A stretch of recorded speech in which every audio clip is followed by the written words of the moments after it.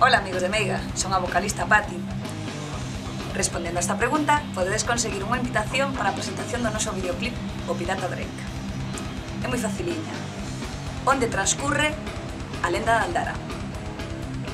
Nada máis, ata logo.